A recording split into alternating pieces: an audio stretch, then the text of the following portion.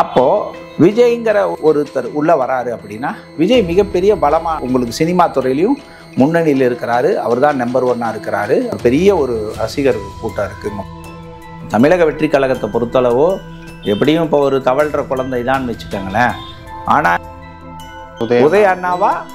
இளைய தளபதியா? அப்படிங்கிற எதிர்காலத்தில் அந்த கட்டம் வந்துடும் அந்த போட்டி நிலவும்.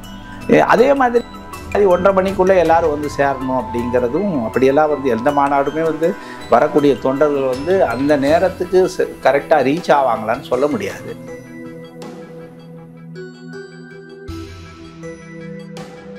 இன்வெஸ்டிகேஷன் ரிப்போர்ட் நேர்களுக்கு வணக்கம். நான் வசந்த் சரவண்ராஜன்.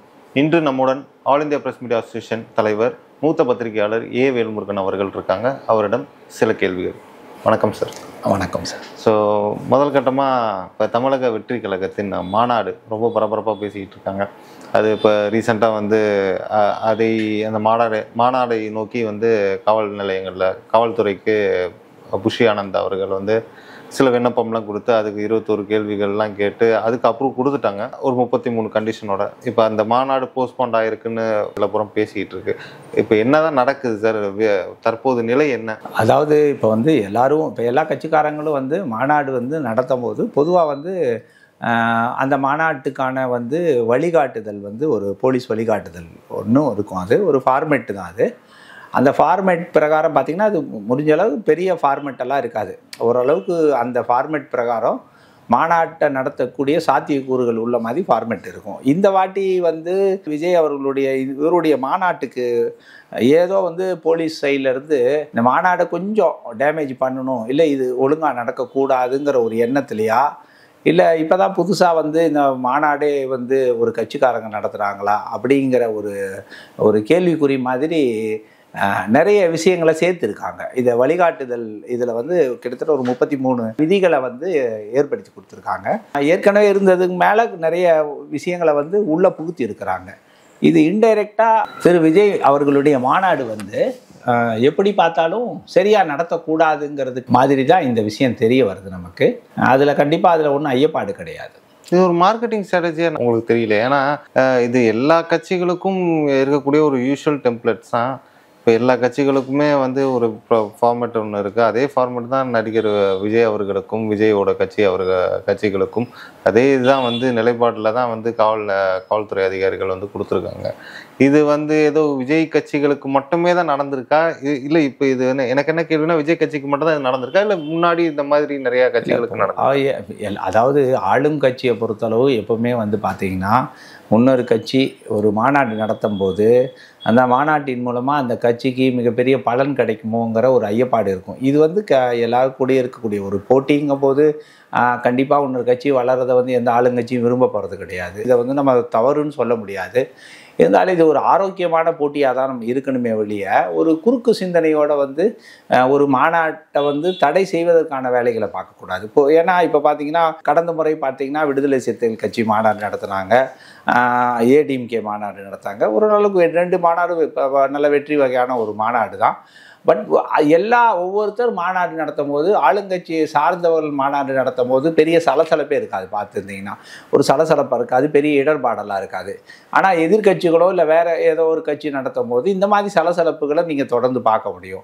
ஏன் இதை நம்ம கு- குறிப்பிட்டு சொல்கிறோம் அப்படின்னா இப்போ இந்த மாநாட்டுக்குரிய விதிகளில் விதிமுறைகளில் பார்த்தீங்கன்னா சில விதிகளை நம்ம உன்னிப்பாக கவனிச்சோன்னா ஒவ்வொரு மாவட்டத்திலேருந்து வரக்கூடிய வேன் அதாவது எடுத்துகிட்டு வரக்கூடிய வேன் உன்னுடைய டீட்டெயில்ஸை வந்து அந்தந்த மாவட்டங்களில் இருக்கக்கூடிய அந்தந்த ஜோனலில் இருக்கக்கூடிய காவல் நிலையங்களுக்கு தகவலை தெரிவிக்கணும் அப்படிங்கிற ஒரு விதியை வந்து நிர்ணயம் பண்ணியிருக்காங்க.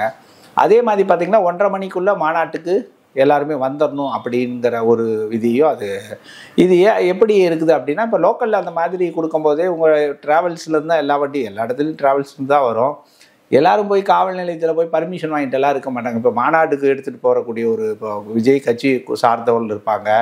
அவங்க வந்து ஆள் திரட்டி கூட்டிகிட்டு போகிறது அதுக்கு அதை போய் எடுத்துகிட்டு போய் திருப்பியும் போய் காவல் நிலையத்துக்கு போய் பர்மிஷன் வாங்கணும். அப்புறம் காவல் நிலையம் திடீர்னு இழுத்து அடிச்சாங்கன்னு வைங்களேன். இதெல்லாம் பல சிரமம். அது புரியுதுங்களா? அதே மாதிரி ட்ராவல்ஸ்காரங்களும் எல்லா வண்டியை எடுத்துகிட்டு போய் காவல் நிலையத்துக்கு பர்மிஷன் வாங்கணுமா அப்படின்னா அவங்களுக்கும் அது வந்து ஒரு பெரிய சிரமமாகவும் சங்கடமாகவும் இருக்கும். இதெல்லாம் அங்கே ஒரு சில சின்ன சின்ன தடைகள் ஏற்படுத்தக்கூடிய சாத்தியக்கூறு உண்டு. அதே மாதிரி ஒன்றரை மணிக்குள்ளே எல்லாரும் வந்து சேரணும் அப்படிங்கிறதும் அப்படியெல்லாம் வந்து எந்த மாநாடுமே வந்து வரக்கூடிய தொண்டர்கள் வந்து அந்த நேரத்துக்கு கரெக்டாக ரீச் ஆவாங்களான்னு சொல்ல முடியாது. திடீர்னு இப்போ உங்களுக்கு நேரம் கடந்து வரும்போது சந்தேகம் தான் இது. உறுதிப்படுத்த முடியாது. ஒன்றரை மணி நேரத்துக்கு ஒன்றரை மணிக்குள்ளே வரணும் அப்படிங்கும்போது அஹ் திடீர்னு வரும்போதே உங்களுக்கு அந்த ஒன்றரை மணியை கடந்து விட்டால் வர வழியில் கா காவல்துறை வந்து அந்த வேன் இல்லை நேரம் கடந்துருச்சு நீங்கள் வரக்கூடாதுன்னு தடுக்கிறதுக்கான வாய்ப்பு வாய்ப்பு உண்டு. இல்லை அங்கேருந்து புறப்பட்டு வரக்கூடிய தொண்டர்களே காலம் கடந்துருச்சுன்னு ஐயோ நம்ம நேரம் விதிக்கப்பட்ட டைம் மீறி வரமே அப்படின்னு கலந்துக்காமல் திரும்ப செல்வதற்கும் வாய்ப்பு உண்டு. இதெல்லாம் ஒரு இடர்பாடாக தான் நம்ம சொல்லணும். அதற்கப்புறம் குறிப்பாக பார்த்தோம்னா வாகனங்கள் வந்து இது வந்து கொஞ்சம் வேடிக்கையான ஒரு விதிமுறையாக தான் இருந்துச்சு. வாகனங்கள் வந்து நிறுத்தும் போது வாகனங்கள் உபரி பாகங்களை திருடிடுவாங்க. அதுக்கான பாதுகாப்பு நீங்களே ஏற்பாடு பண்ணிடணும் அப்படின்னு ஒரு விதியை விதிமுறை பண்ணியிருக்காங்க. அதே மாதிரி அங்கே இருக்கவங்களோட வந்து எதனாவது ஒரு இந்த மாதிரி பெண்கள் கிண்கள் வரும்போது அவங்களுக்கு பாதுகாப்பு இருக்காது எதனா அது இஷ்யூ இந்த ஈவ்டீசிங் மாதிரி எதனா நடந்துடும் அப்படிங்கிற மாதிரி எல்லாம் ஒரு விதிகளை வந்து புகுத்தி உள்ளார்கள் இது எப்படி இருக்குன்னா இப்போ ஒரு மாநாடு அப்படிங்கும்போது காவல்துறை தான் அந்த மாநாட்டுக்கான முழு பாதுகாப்பு வழங்கணும். எந்த இடத்துல வாகனங்கள் இருந்தாலும் சரி வந்த மக்களுக்கும் சரி எல்லாத்துக்கும் காவல்துறை தான் பாதுகாப்பு கொடுக்க வேண்டிய சூழ்நிலை இருக்கும்போது இவங்க எப்படி தனிப்பட்ட முறையில் ஒரு வாகனத்தில் உதிரிப்பாங்க திருடிடுவாங்க இல்லை பெண்களை கிண்டல் பண்ணிடுவாங்க அப்படின்ட்டு அவங்களே எப்படி அதுக்கு பாதுகாப்பு கொடுக்க முடியும்? காவல்துறை தானே பாதுகாப்பு கொடுக்குது. அவங்க கடமை தானே அதான் அவங்க டியூட்டி கூட. ஒரு டெமோக்ரஸி கண்ட்ரியில் ஒரு ஒரு கட்சியை உருவாக்கி அந்த கட்சியினுடைய மாநாடு நடத்தும் போது அவருடைய அந்த அந்த ஜனநாயக உரிமைப்படி அவங்களுக்கான உரிமைகள் உண்டு. அவருக்கான பாதுகாப்பையும் இதையும் காவல்துறை தான் கொடுத்தாங்க. ஆளும் கட்சியும் ஆளும் கட்சியை சார்ந்து சார்ந்து உள்ள காவல்துறையும் தான் அதுக்கான ரெஸ்பான்சிபிலிட்டி ஸோ இந்த மாதிரி சின்ன சின்ன விதிமுறைகளை வந்து பார்க்கும்போது ஏதோ ஒரு இதில் உள்நோக்கம் இருக்குதோங்கிற ஐயப்பாடு எல்லாருக்குமே உண்டு. இப்போ அதே மாதிரி சில தகவல்கள் வெளில வருது. அதாவது மாநாடு வெஹிக்கிள்ஸ்லாம் வந்து மாநாடு நடக்கக்கூடிய இடத்துல நிப்பாட்டணுன்ற இல்லை அப்படி கிடையாது. அதாவது அது கிடையாது. ஆக்சுவலி கிட்டத்தட்ட ஒரு அறுபது ஏக்கருக்கு மேல் மேலே இருக்கக்கூடிய அந்த ஏரியா மாநாட்டினுடைய இடம். அதாவது மாநாடு நடத்தக்கூடிய இடத்துக்கு எதிர்ப்புறமாக வந்து வெஹிக்கிள் பார்க்கிங்க்கான இவங்க வந்து செட் பண்ணி இருக்கிறாங்க காவல்துறை என்ன சொல்கிறாங்கன்னா இந்த ரோட் கிராசிங் இருக்குது ஸோ அதிலிருந்து கிராசிங் வரும்போது மற்ற வாகனங்கள் போகிறதுக்கு இடையூறாக இருக்கும் அப்படின்னால மாநாடு நடத்துகிற இடத்துலையே நீங்கள் அதுலேயே ஒரு பகுதியை வந்து நீங்கள் வெஹிக்கிள் பார்க் பண்ணிக்கணும் அப்படிங்கிற மாதிரி சொல்கிறாங்க ஸோ மாநாட்டுக்கான கூட்டம் பெருங்கூட்டமாக இருக் பெருங்கூட்டம் வந்துட்டால் வெஹிக்கிளும் அதே இடத்துல நிறுத்தி மாநாடு கூட்டத்தையும் அங்கேயே வச்சு நடத்துறதுக்கான ச- சாத்தியக்கூறும் சிரமமும் ஏற்படும். அது வந்து அதெல்லாம் வந்து கன்சிடர் பண்ணி தான் ஆகணும் காவல்துறை. அதுவும் ஒரு சின்ன சின்ன இடர்பாடு தான் அதெல்லாம். இப்போ விஜய் நடிகர் விஜய் அவர்கள் இப்போ இந்த கட்சி தமிழக வெற்றி கழகம் எப்படி பெர்ஃபார்ம் பண்ணணும்னு நினைக்கிறேன் ஏன்னா எனக்கு என்னன்னா இந்த மாதிரி ஒரு நடிகர்கள் கட்சி தொடங்குறப்ப இப்போ ரீசெண்ட் டேஸ்ல கமல் அவர்களோ இல்லை ரஜினிகாந்த் அவர்கள் கட்சி தொடங்கியப்ப இவ்வளோ வந்து தொடங்கலை. தொடங்கல. அந்த அனௌன்ஸ்மெண்ட் வரப்ப இவ்வளோ வந்து சர்ச்சைகளோ இல்லை வந்து ஒரு ஐயப்பாடோ இருக்க மாதிரி தெரியல. இங்கே ஒரு பாலிடிக்ஸ் வரல. ஸோ பட் இவர் விஜய் அவர்கள் த- தமிழக வெற்றி கழகம் வந்து ஸ்டார்ட் பண்ண உடனே இவ்வளோ ஒரு பிரம்மாண்டமான ஒரு மாநாடு நடத்துகிறாங்க அண்ட் மோர் ஓவர் இதுக்கு ஒரு தடைகள் நிறைய விதிக்கப்பட்டிருன்றப்ப ஆஹ், இவருக்கு என்ன மாதிரி வாய்ப்புகள் இருக்குன்னு நீங்க நினைக்கிறீங்க? இது அதாவது- இது அதாவது கா நீங்கள் சொ கேள்வி நல்ல கேள்வி தான் என்ன அப்படின்னா நிறைய பேர் கட்சி தொடங்கினாங்க. இப்போ பார்த்தீங்கன்னா நம்ம தமிழ்நாட்டில் நூற்றுக்கணக்கான கட்சிகள் இருக்குது. அது வேறு விஷயம். கமலஹாசன் கூட கட்சி தொடங்கினார். எல்லாருக்கும் ஒரு பார்வை உண்டு. ஒருத்தர் கட்சி ஆரம்பிக்கிறாங்க அப்படின்னா அவங்க இப்போ எல் நிறைய எல்லாரும் கட்சி வச்சுருக்காங்க. விஜயகாந்த் கட்சி இருக்குது அப்புறம் கிருஷ்ணசாமி சார் கட்சி இருக்கிறது. விடுதலை சிறுத்தைகள் கட்சி இருக்குது அப்புறம் பாட்டாளி மக்கள் கட்சி இருக்குது இப்படி பல விதமான கட்சிகள் இருக்க தான் செய்யுது புதுசாக ஒருத்தர் கட்சி தொடங்கும் போது இப்போ நம்ம இதை வந்து எப்படி எடுத்துகிட்டு போகணும்னா ஒரு கொஞ்சம் வரலாற்று பின் பின்னோக்கி பார்த்தீங்கன்னா விஜய் விஜயகாந்த் கட்சி ஏற்படுத்தும் போது இதே சலசலப்பு இருந்துச்சு. உங்களுக்கு தெரியும். ஏன்னா விஜயகாந்த் கட்சி ஆரம்பிக்கும் போது பார்த்திங்கன்னா அப்போ ரூலிங்கில் ரொம்ப இடர்பாடுகள் வந்து அவருக்கு கொடுத்துட்டே தான் இருந்தாங்க. ஏகப்பட்ட இடர்பாடுகள் கொடுத்தாங்க. அப்போ அது அது அந்த டைமில் ரூலிங்கில் இருந்தவங்களும் சரி பாட்டாளி மக்கள் கட்சியும் சரி விஜயகாந்த் வளர்ச்சிக்கு வந்து மிகப்பெரிய முட்டுக்கட்டையாக இருந்தாங்க. ஆனால் ஒரு மனிதனை எப்போ நம்ம வந்து அதிகப்படியாக நம்ம அவனை தடுத்து நிறுத்துறோமோ அந்த மனிதன் மிக பெருசாக மிகப்பெரிய லெவலில் வளரக்கூடிய வாய்ப்புகள் அதிகம். அதனால் முதல்ல யதார்த்தத்தை வந்து நம்ம நம்பணும். உங்களுக்கு திறமை இருக்கிறவன் முன்னேறி வந்துருவான். நீ எவ்வளோ தடுத்தாலும் காற்றாற்று வெள்ளம் மாதிரி நீ தடுத்தெல்லாம் நிறுத்த முடியாது. அது காற்றாற்று வெள்ளம் ஒன்று வர ஆரம்பிச்சிட்டா யாருனாலையும் தடுக்க முடியாது. அப்படிதான். விஜயகாந்தனுடைய வளர்ச்சி மாபெரும் வளர்ச்சியாக இருந்துச்சு. எவ்வளோ பேர் தடுத்தாலும் அந்த வளர்ச்சியை கடைசியை வந்து தடுக்கவே முடியாத அளவுக்கு ஒரு மிகப்பெரிய ஒரு இடத்துல வந்திருந்தார். அவருடைய பேட் லக் என்னமோ அந்த கட்சி இப்போ வந்து ஸ்டாக்னெண்ட் ஆகிட்டு அதே மாதிரி விஜயகாந்த் இப்போ கமலஹாசனோட விஜயகாந்தெல்லாம் நம்ம க விஜய் சா- வந்து கம்பேர் பண்ண முடியாது. விஜய் விஜய்க்குன்னு இங்கே மிகப்பெரிய ஒரு ரசிகர் கூட்டம். அந்த கூட்டம் வந்து கண்டிப்பாக ஓட்டாக மாறதுக்கான வாய்ப்பு உண்டு. அதே மாதிரி சினிமா துறையில் விஜய்க்கு வந்து கண்டிப்பாக வந்து விஜய்க்கு ஆதரவு கொடுக்கறதுக்கு பல பேர் இருக்காங்க. அரசியலுக்கு மிக மிகப்பெரிய ஒரு முதுகெலும்பாகவும் அரசியலுடைய ஷேடோவாக இயங்கக்கூடியது வந்து சினிமா துறை. அப்போ சினிமா துறையில் வந்து இருக்கிறவங்க விஜய்க்கு ஆதரவு கொடுக்குறாங்க. இப்போ வரைக்கும் நல்லா தெரியுது விஜய்க்கு ஆதரவு கொடுத்துட்டு இருக்கிறாங்க. பல முன்னணி நடிகர்களும் சரி நல்ல மிக ஒரு பலமாக இருக்கக்கூடியவர்கள் எல்லாம் கூட விஜய்க்கு ஆதரவு கொடுக்கறதுக்கான வாய்ப்பு உண்டு. ஒன்று அதே சமயம் இப்போ வந்து இவருக்கு வந்து விஜய்க்கு இப்போ விஜய் இந்த கட்சியை தொடங்கக்கூடிய காலம் எப்படின்னா இப்போ இருக்கிற ரூலிங்கில் இருக்கிற பார்ட்டிக்கு எந்தவித எதிர் பார்ட்டி வந்து இல்லாமல் இருக்காங்க. இவங்களை எதிர்த்து நிற்கக்கூடிய அளவுக்கு எதிர்க்கட்சிகள் இப்போ இல்லை. ஒரு வேக்கம். அதாவது ஒரு காலி வெற்றிடம் வந்து உருவாயிருச்சு. இந்த வெற்றிடத்தை ஃபில்லப் பண்ணுறதுக்கு அளவுக்கு மற்ற கட்சிகள் இல்லை. ஏன்னா ஏடிஎம்கே பார்த்திங்கன்னா ஒரு மூணு க மூன்றா மூணா நாளாக செதறி போய் கிடக்கிறது. அதற்கப்புறம் பார்த்தா இருக்கக்கூடிய காங்கிரஸ் காங்கிரஸ் கூட்டணி கட்சியாக இருந்தாலும் காங்கிரஸ் பிஜேபி மற்ற பாட்டாளி மக்கள் கட்சி விடுதலை சிறுத்தை கட்சியெல்லாம் இருந்தால் கூட இவங்களுக்கு வந்து சொற்ப சொற்பம் சொற்ப ஓட்டு தான் இருக்குது ஒரு பத்து பர்சன்டேஜ் குறைவான ஓட்டுகள் தான் இருக்குது.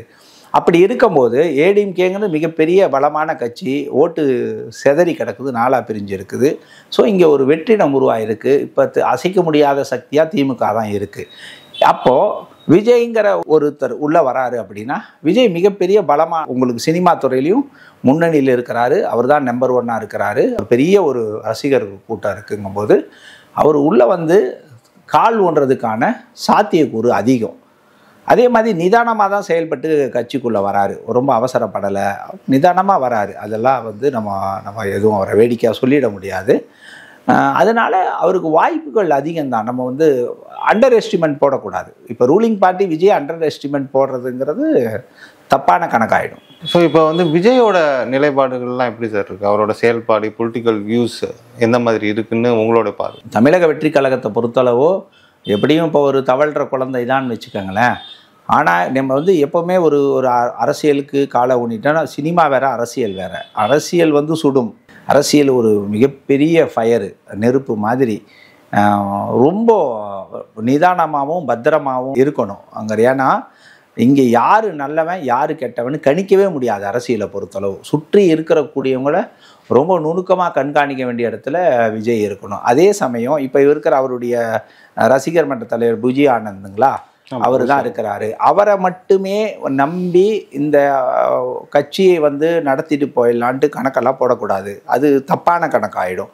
இப்போ நான் ஏன்னா எம்ஜிஆர் காலத்தில் பார்த்தீங்கன்னா எம்ஜிஆர் வந்து திமுக விட்டு வெளியே வரும்போது மிகப்பெரிய ராஜதந்திரியான ஆரம் வீரப்பன் அவர்களை கைக்குள்ளே வச்சிருந்தார். அதனால அவர் எவ்வளோதான் மாஸ் எம்ஜிஆர் இருந்தாலும் கூட ஒரு ராஜதந்திரி அரசியல் தெரிஞ்சவங்க அரசியல் மூத்த தலைவர்கள் கூட இருக்கும்போது தான் அந்த கட்சியை கரெக்டாக வழிநடத்துறது கூட ஒரு யுக்தியை வந்து அவங்க சொல்லி தருவாங்க. அதே மாதிரி விஜயகாந்த் அவர்களும் பாருங்கன்னா அவர் கட்சி நடத்தும் போது பன்ருட்டி ராமச்சந்திரன் அவர்கள் அவர் உடன் இருந்து பயணப்பட்டார்.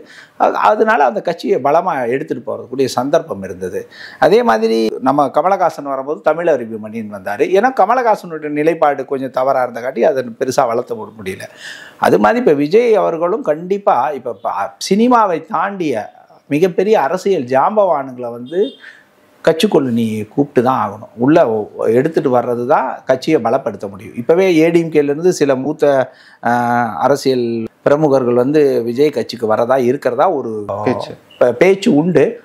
கண்டிப்பாக வரவேற்கணும். ஏன்னா இது அரசியல். இந்த அரசியலை நீ வெற்றி பெறணும் அப்படின்னா அந்த அரசியல் தெரிஞ்சவங்க அரசியல் சாணக்கியன் அரசியல் அனுபவம் மிக்கவர்கள் பல கட்சியில் இருந்தால் கூட அந்த இவங்க நிறைய கட்சியில் இருந்தாங்களே இந்த கட்சி நம்ம கட்சியில் எடுத்துட்டா அது ஒரு தவறாயிடும் பேசும் பொருளாயிடும் அப்படின்னு எல்லாம் நினைக்கக்கூடாது. கட்சியை பலப்படுத்தணும்னா நம்மளை அவரை சுற்றி விஜயை சுற்றி அனுபவமிக்க அரசியல்வாதிகளை ஏற்படுத்திக்கிட்டால் கட்சியை நல்லா வளர்த்த முடியும். ஏன் அப்படின்னா இந்த இடத்துல நம்ம சொல்லிக்கிறது இன்னைக்கு வந்து இப்போ வந்து இளைய தளபதி விஜய் அப்படிங்கிறது தமிழகத்தில் உருவாகிட்டு வருது. அதுக்கப்புறம் பார்த்தா உங்களுக்கு நம்மளுடைய முதல்வர் அவருடைய மகன் அன்பா சொல்கிறோம் நம்ம உதய அண்ணா உதய அண்ணான்னு சொல்கிறோம் ஏன்னா பார்த்தா இவங்க ரெண்டு பேருக்கு எல்லாரும் சமூகம் பார்த்துக்கிட்டே தமிழகம் வந்து பார்த்துட்டு தான் இருக்கிறது. உதய அண்ணாவா இளைய தளபதியா? அப்படிங்கிற எதிர்காலத்தில் அந்த கட்டம் வந்துடும் அந்த போட்டி நிலவும். அதே மாதிரி நீங்கள் இவர் உதயநிதி அவர்களையும் நம்ம குறைந்தெல்லாம் மதிப்பிட முடியாது. அவர் வந்து மு க ஸ்டாலின் அவர்கள் கூட ஒரு அரசியலில் கொஞ்சம் ஒரு நிதானத்தை கடைபிடிக்கிறார். உதயநிதி வந்து மிக ஒரு ஷார்ப்பான ஆள் தான். ரொம்பலாம் நம்ம ஸோ அரசியலில் இப்போ இந்த மூன்று ஆண்டு காலம் அரசியலை நல்லா படிச்சிட்டாரு. ஸோ அவருக்கு இவர் விஜய் வீடு கொடுக்க முடியுமா அப்படிங்கிறது மிகப்பெரிய கேள்விக்குரிய ஏன்னா போட்டி கண்டிப்பாக உண்டு. அதில் மாற்று கருத்தே இல்லை. ஏன்னா அடுத்த வரக்கூடிய எலெக்ஷன் அரசியல் எலெக்ஷனை பார்த்தீங்கன்னா அந்த எலெக்ஷனை டைரெக்டாக சந்திக்க போகிறவர் எடுத்து கையில் எடுக்க போகிறவர் உதயநிதி அவர்கள் தான் ம் கண்டிப்பா. புரியுதுங்களா? ஸோ அவருடைய வியூகம் வந்து ஆனால் மூன்று வருஷத்தில் தெரோவா வந்து அரசியலை படிச்சுட்டு வந்திருக்கிறாரு. பல பெரிய மூத்த அரசியல்வாதிகளோட பயணித்த பயணித்து பயணித்து விட்டார். உங்களுக்கு நிறை குறை எல்லாத்தையும் பார்த்துட்டாரு அவர். எல்லாத்தையும் பார்த்துட்டாரு. அதாவது அவருடைய தந்தையை கற்றுக்கிட்ட முப்பது ஆண்டு கால அரசியல் அவரை கற்றுக்கிட்டாரு இல்லை நல்லா சொல்ல முடியாது. ஏன்னா உதயநிதி அவருடைய கொஞ்சம் நல்ல ஒரு ஐக்கியவான ஆள் தான். அப்படி இருக்கும்போது இவரை சமாளிப்பதற்கு இளைய தளபதியினால் முடியுமா என்பது தான் இங்கே. ஸோ இவங்களுக்கு கண்டிப்பாக வருங்கால வரக்கூடிய எலெக்ஷனில் மிகப்பெரிய கடுமையான போட்டி இவங்க இந்த ரெண்டு யூத்துக்கு உண்டு. சரி ஓகே. உங்கள் நேரத்தை ஒதுக்கி சேனலுக்கு இன்டர்வியூ கொடுத்ததுக்கு நன்றி. நன்றி வணக்கம்.